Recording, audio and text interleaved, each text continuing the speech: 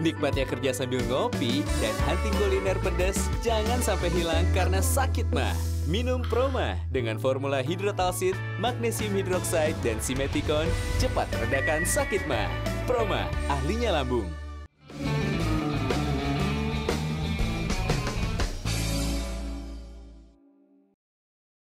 Dipersembahkan oleh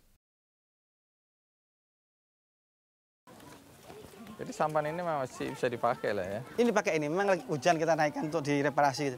Di dempul, Paralon ini supaya iya, ngapung katir lah. ya, untuk katir misalnya untuk ngimbangi. Ngimbang. Kalau penumpangnya banyak biar nggak sampai. Coba apa yang mau diajarkan ke anak-anak? Saya juga mau dengerin. Ah, ada yang tahu nggak apa ada berapa jenis ikan yang ada di kali Berantas ini? Ah, coba sebutkan apa Pak E? Bader. Jair. Terus? Hmm, ya. Kalau di sini tadi itu kira-kira apa? Apa kualitasnya sehat apa enggak sehat sungainya?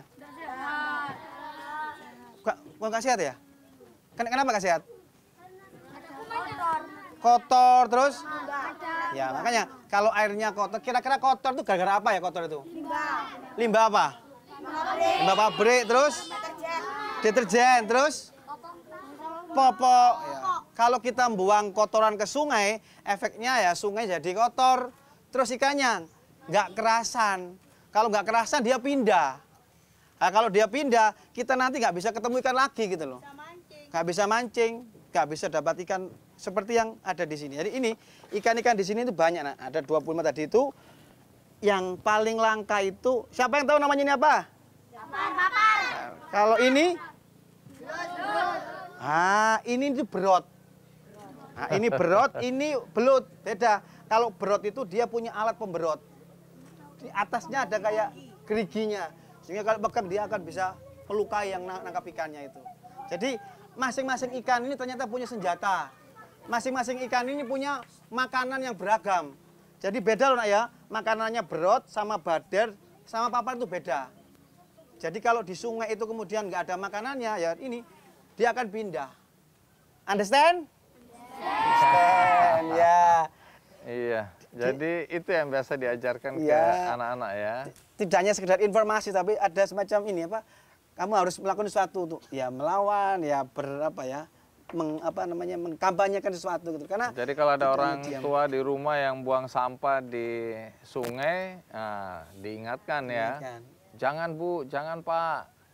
Wes nggak apa-apa dari dulu juga bapak buang-buang sampah di sini. Nah, sekarang nggak boleh ya, karena udah tahu bahwa sungai itu tidak boleh dicemari. Iya, memang Rumah ikan. penting sekali ya dari kecil anak-anak diberi kesadaran ya.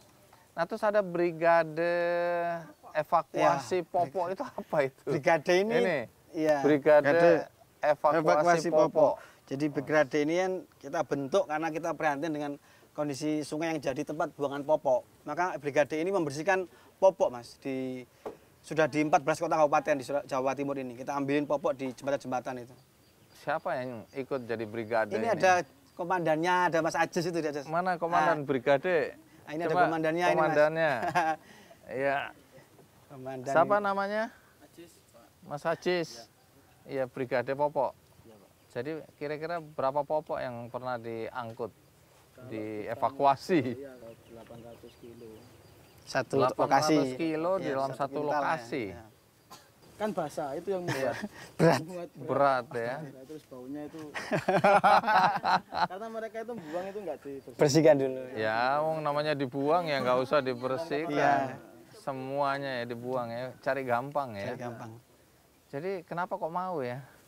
ya kita awalnya sih muter aja Pak. muter terus kita kan inventarisasi kok banyak popok di sungai apa sih yang membuat mereka membuang popok ke sungai ya kita itu survei dulu pak survei ke 100 responden itu ternyata mereka itu rata-rata dibuang ke sungai karena takut adanya ruang popok atau sulut itu pak yang Iya. mitosnya orang Itu mitos ya. Iya, iya. Nggak, kok panjenengan tuh mau gitu loh ngurusin popok. Masih muda gini kan harusnya Gak ada kerjaan lain. ya. harusnya kan enak-enak aja main-main di mall gitu. Ngapain ngurusin popok? Ngapain Ya ikut-ikutan karena ini? faktanya nggak ada yang ngurusi. Jadi memang faktanya Ini memang panggilan akhirnya ya? kemudian ya Kesadaran. ya tadi sungai ini penting. Kalau kita zaman dulu kan nenek moyang kita sangat menghargai air gitu loh.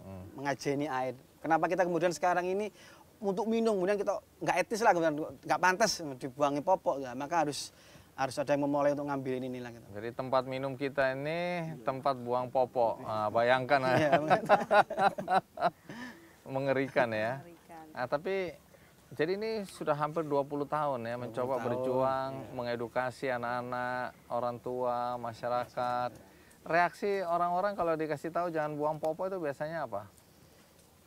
Ya apa ya ada cara-cara sih mas kita pakai cara yang Ini kan ngelawan mitos Iya. yang sudah lama itu. ya ada yang style kendo ada yang style kenceng gitu loh Nah, yang kencang itu kenapa itu? Kalau kencang itu ya kita re- regulasi. Jadi kemarin kita gugat gubernur Jawa Timur. Jadi untuk menegakkan regulasinya. Kalau style kendo ini ke masyarakat itu. Jadi kok pantas gitu loh. Ya masalah kepantasan tadi kepantasan. Terus kita kasih lebih contoh, buang di sini loh gitu loh. Kita sediakan sarananya. Jadi juga. jangan- alternatif selain Iya. ke sungai harus ada sarana Iya, tempat itu. penampungan. Tidak langsung no, ojo Jadi, buat kali ya. Nggak boleh, tapi jangan ini loh buang di sini. Biasanya kok jadi apa gitu. Kok jadi apa Anda Jadi itu? apa, itu. iya.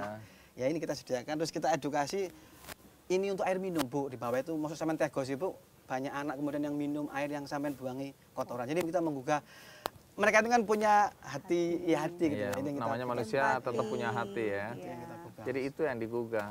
Jadi ya, jadi Mas Priki, Mbak Daru, teman-teman sekalian, adik-adik tercinta, saya senang sekali bisa berada di sini ya, mendengarkan cerita tentang bagaimana upaya untuk menyelamatkan sungai ya dari pencemaran. Kita tahu bahwa air adalah sumber kehidupan.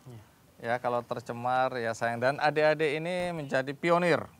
Nanti yang menjadi juru penerang untuk keluarganya, untuk masyarakat, untuk teman-temannya bahwa tidak boleh buang sampah di sungai. Iya, tidak boleh buang popok di Iya, terutama popok ya, karena ada mitos buang popok di sungai adem. Jadi saya terima kasih untuk inspirasinya. Nah, hari ini saya tidak sendirian, saya bersama teman-teman dari PT SMI. nah, ini ada Pak Gozi nih, silakan. Wish. Apa kabar? Gozi apa kabar? Sama Andi. teman ada kabar? Puri, ada Enrico. Iya. Tos, tos, tos. Nah, ini orang-orang hebat yang saya ceritakan. Ini Mas Prigi, Mbak Daru, ya. Saya waktu mau ke sini cerita tentang kegiatan. Nah, teman-teman dari PT SMI ini mau ikut. Wah, iya Pak, Pak ikut. Mau ikut jalan-jalan ke kali, Iya. ke sungai ya. Untuk melihat langsung dari dekat apa yang dilakukan oleh Mas Priki, Mbak Daru, dan teman-teman di sini. Nah, yang jadi pertanyaan, kenapa kok mau ikut ke sini? Kalau dari kami Pak, eh, kita lihat dari apa namanya baca tentang Mas Prigi dan Ibu Daru, ya banyak hal yang dilakukan untuk lingkungan ya. Kalau lihat terinspirasi dulu kayaknya pengalaman waktu kecilnya ngalamin lingkungan bersih Pak. ya. Bersih ya. Nah itu saya saya sangat ini sekali terinspirasi sekali mendengar Mas Prigi itu pengen juga anak-anak itu juga ke depannya punya lingkungan yang bersih itu itu luar biasa sekali dan kalau PT SMI karena kita itu kan eh, lembaga keuangan non bank yang di bidang infrastruktur pak. Jadi kalau kami melakukan proyek-proyek infrastruktur seperti jalan tol ada juga pembangkit ada juga air gitu kan. Nah pasti tidak bisa dipungkiri ada dampak terhadap lingkungan dan sosial. Jadi kami pun tuh di SMI punya tim khusus Pak untuk yang environment lingkungan dan juga sosial untuk memastikan bahwa proyek-proyek itu yang dibangun itu berkelanjutan. Jadi jangan sampai jadi jalan tolnya, jadi apa pembangkitnya, tapi banyak sekali dampak lingkungan sama sosial yang terdampak yang nggak bisa dimitigasi atau di itu.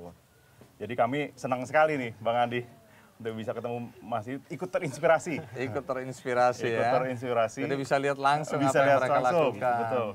Jadi kami rasa kalau misalnya dari contoh eh, Mas Mas Prigi, Ibu Daru, terus kemudian dari eh, apa Kick Andy Show yang terus apa menyiarkan tentang aksi-aksi positif ini, kami ingin sekali ikut serta di situ. Karena kami juga ingin apa namanya eh, berpartisipasi, peduli juga terhadap lingkungan dan kami juga berharap semoga ini juga makin banyak yang peduli lingkungan karena nggak Amin, bisa kita ya. kerjain sendiri gitu. Setuju. Nah, jadi jadi semua orang harus sekali. bergerak ya. Betul, Bang Andi. Jadi saya dengar mau memberikan dukungan langsung ya. Wah, siap. Nah, dukungannya apa ini dukungannya? Nah, ini Oh, ada dukungan langsung yang mau diberikan. ini, ini kosong ini. Oh kosong. Dukungan eh, kertas putih. Dekat hati oh enggak, ternyata ada di baliknya ini, Pak. Di baliknya ada. Ah. Dukungan senilai 100 juta Ah. rupiah. Terima kasih Mas. Yuk. Terima kasih Mas. Yuk, Mas. Wow. Semoga ini bermanfaat dan terus memberikan inspirasi. Saya berdoa supaya ada seribu orang lagi tambahan yang kayak Mas Prigi sama Mbak Daru supaya menjadi Indonesia jadi lebih baik. Amin. Amin. Amin. Makanan dipakai untuk bersihin popok lah Mas. Siap. Saya dengar banyak sekali kegiatan yang hendak dilakukan ya, termasuk mau bikin apa balai penelitian untuk apa? online. Jadi kita nanti akan ini akan ditengahkan gitu di tengah. Terus Iya. kita kasih alat yang bisa mem- memantau mas. Oh. Pencemaran air yang ada di karena di bawah itu kan untuk air minum gitu. Iya, Jadi iya, supaya kita tahu kualitas air yang kita konsumsi setiap hari gitu. Iya, iya. Baik, jadi komentarnya soal dukungan dari PT SMI senilai 100 juta rupiah apa ini? Ya terima kasih sekali, terima kasih atas ya atas support dari teman-teman SMI berbagi gini ya. Jadi ini akan kita pakai untuk ya, kegiatan seterusnya untuk eh, mimpi kami mewujudkan kali berantas bebas popok Amin. 2020. Baik, semoga Terima terwujud kasih lagi, ya. Mas. Terima kasih. Jadi Anda berdua dan teman-teman tidak sendirian ya. Banyak orang sebenarnya punya keinginan juga melakukan hal yang sama, tapi dengan cara yang berbeda. Nah, salah satunya PT SMI merasa bahwa apa yang dilakukan ini sangat bermanfaat ya. Betul. Kalau saja ada 1000, 2000, 3000 Wah, orang seperti amin. ini, Indonesia akan lebih baik. Terima kasih. Terima kasih. Iya, saya panggilnya Mas saja ya. Boleh, boleh, boleh. Jadi inilah cerita inspirasi dari tepi Sungai Berantas di daerah Gresik ya dengan tokoh-tokoh yang sudah kita ceritakan dan sekali lagi bukan pekerjaan yang ringan tapi kalau kita bergotong royong dengan semangat itu maka banyak sekali hal yang bisa dilakukan termasuk yang dilakukan oleh PT SMI mendukung gerakan yang dilakukan oleh teman-teman di sini. Nah, akhir kata dari Surabaya dan Gresik, inilah kisah inspirasi di Kick Andy on Location. Semoga Anda semua terinspirasi. Sebelum saya akhiri, seperti biasa, saya berharap buku yang akan saya bagikan ini akan menginspirasi Anda semua. Judulnya Brave, 50 keberanian sehari-hari untuk berhasil dalam pekerjaan, cinta, dan hidup. Buku ini bisa Anda dapatkan dengan mengakses website kickandy.com. Akhir kata, dari tepian Sungai Berantas, saya mohon pamit. Sampai jumpa. Metro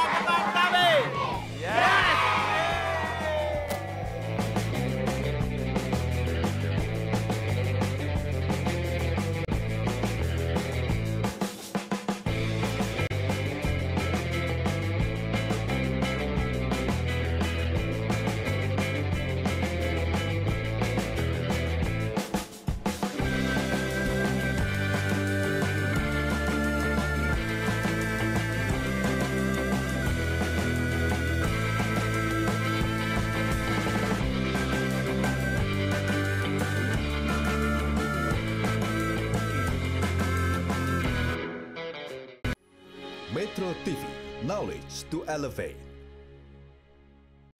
Dipersembahkan oleh